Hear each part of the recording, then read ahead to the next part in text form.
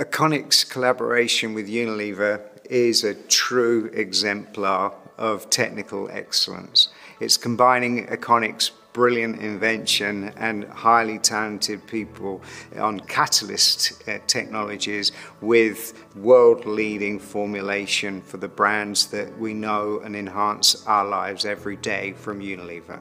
We've been working with Unilever for the past couple of years and we've been working to understand how the incorporation of recycled carbon, renewable carbon into these molecules, what the impact is on the structure, on the performance, on how they're used.